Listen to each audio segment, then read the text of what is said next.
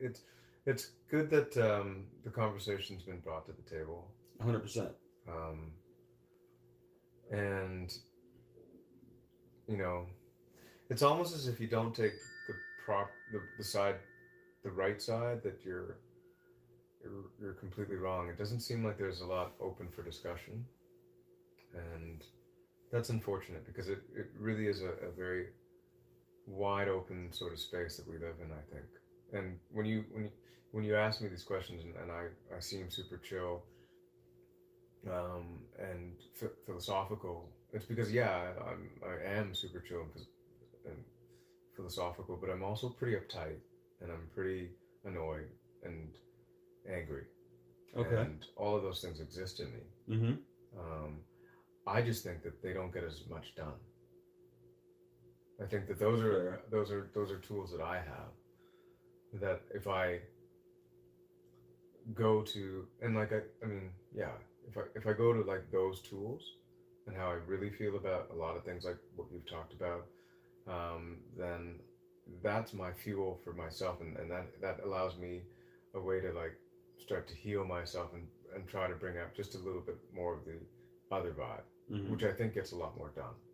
It's funny, like when listening to the show about uh, shopping while brown, an idea that I never thought about before that I've put into practice seems to work out a little bit better in a lot of ways. Because I here's here's what happens is I start to forget that I'm brown, Okay. which is really great because that's the first step for me at least. I can't speak for anybody else, but it's the first step for me to be like, okay, now I can get over this. So that's my question for you because it's it's super easy as fucking 41 year old white dude walking around in North America to never think about race. Like race isn't like I do. I, there's never been a point in, my, and there are some guys that do way too much.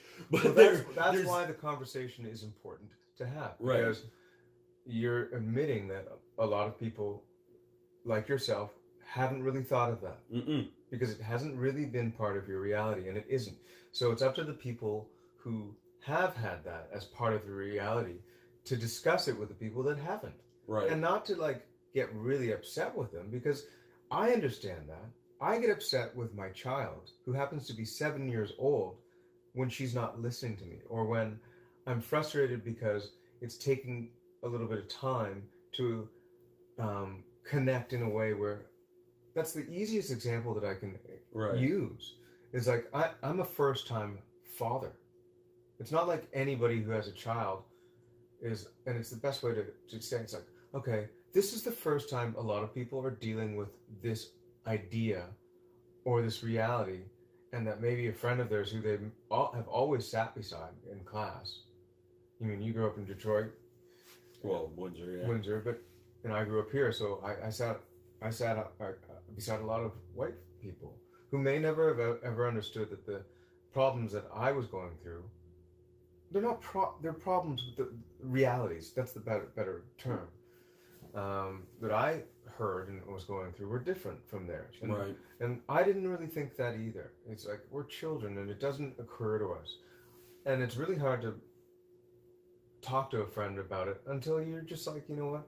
Maybe if I forget that they're actually new to this as well, this conversation's new to them. So I ha- I should have a little bit more responsibility in not getting upset with somebody who doesn't understand and try to uh, help them understand Right.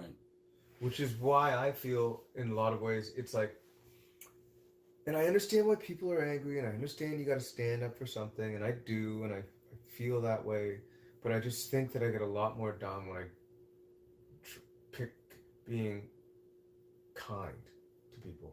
Mhm. It seems to work a little bit better. Like I think Back- no matter what side of whatever argument you work on, if you keep that in mind, you're going to be way better off. Don't forget, you can subscribe to our full audio episodes on Spotify, Apple Podcasts, or anywhere you find your audio podcasts. The full episodes, highlights, and our live off the floor performance videos can be found at our YouTube channel, and you can follow us on Facebook and Instagram at the AVB Podcast.